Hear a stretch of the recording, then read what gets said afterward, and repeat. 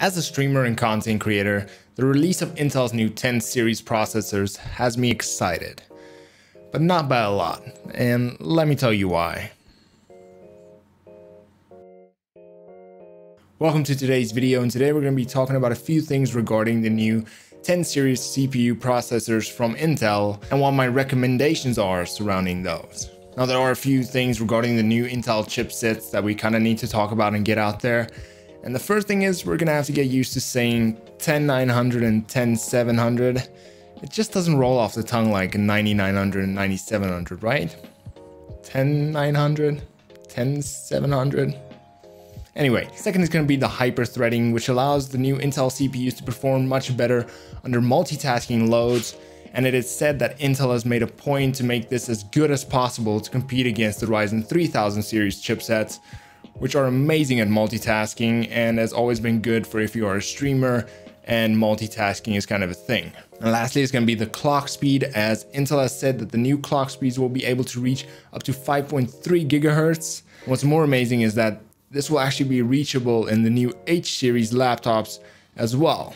Now, Intel did lead the reveal with the new i9 10900K that will be priced around $500 with a base clock of 3.7 gigahertz that can be overclocked to 5.3 gigahertz. Now that being said, the i7 has similar speeds to the i9, but of course will be a little cheaper than that, which in my opinion will make the i7 the kind of best bang for your buck in this 10 series lineup. On the hyper-threading side, this will definitely help boost performance when using a 10 series CPU for streaming and gaming on a single PC setup, as the processor will be better equipped to handle multiple processors like gaming, handling all your alerts, as well as just encoding the stream itself. Well, one thing to just keep in mind is that AMD still has more cores, their cores run more efficient, they are running on the new 7 nanometer technology, while the Intel 10 series are still on 14 nanometer.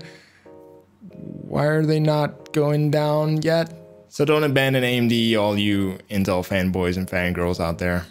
They might, they might still take the lead. Now here you can see the lineup of the new CPUs showing the model, clock speed, cores, and recommended price.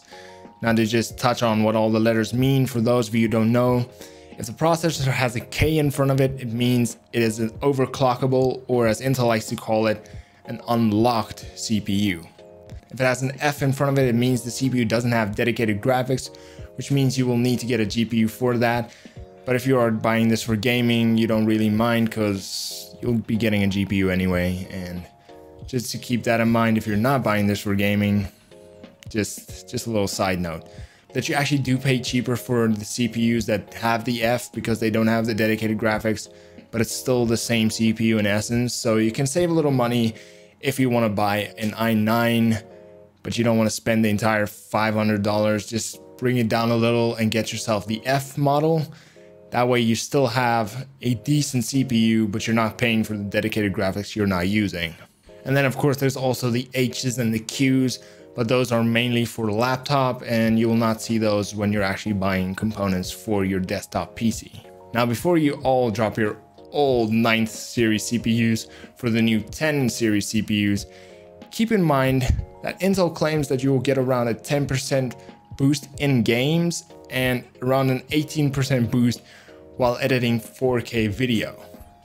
Because we all edit 4K video. But with that being said, it's probably not worth upgrading your 9th to a 10th unless you are in the esports scenes where every little bit of performance is important, or if you do a lot of video editing and that slight boost in performance can actually help you save a lot of time in the long run. If you are none of those above, then consider keeping your 9th series CPU. Unless you have a lot of money, then go and buy a 10th series CPU. Or if you're buying a new PC, also keep in mind that the old 9th series might drop in prices due to the release of the new ones. You can actually probably get yourself a good deal on a 9th series CPU compared to just buying a new 10th series CPU. So when do they release? Now the overclockable or the K series CPUs are set to release in May 2020, so around about now. And the rest set to release later on in the year and if you're looking for a non-overclockable CPU, you're gonna have to be a little patient on that one. So in conclusion, the 10th series is definitely a solid upgrade for someone that has a 7th or lower series CPU. if you don't run anything lower than a 7th gen, upgrading to a 10th gen is just not worth it in my opinion. But also keep in mind that AMD has been making a lot of waves in the industry, so do not keep your eyes off of AMD, keep your eye on them as well, as in a few years they might be the new favorite when it comes to CPUs. So in my opinion, if you're only going to be gaming alone, you can get either an Intel or an AMD. AMD is cheaper, so probably best bang for your buck just to go for the AMD. But if you're actually buying this for streaming, I would definitely still suggest going for an AMD processor as they are much cheaper and they're much better at handling multitasking as no one has been able to test any of these new 10th series CPUs and anything lower than that on Intel just doesn't have that hyper layering, which means you're just not getting that multitasking that you actually do with AMD. But if you enjoyed this video, please leave a like and subscribe. I really do appreciate that. Also, if you have any questions, leave them down in the description below or come ask me live while I'm on Twitch. I stream on Twitch every Sunday, Monday, and Wednesday afternoon. Come and hang out or come and ask questions. Hope to see you there. Until next time. Cheers. There's a car, car uh, right there. Oh, he's down and he's dead. Teamwork.